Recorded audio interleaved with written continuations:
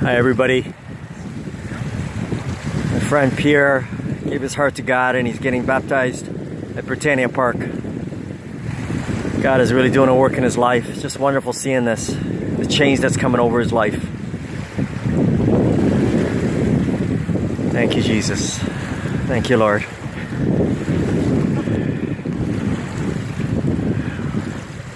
We're baptizing him right at Britannia Park.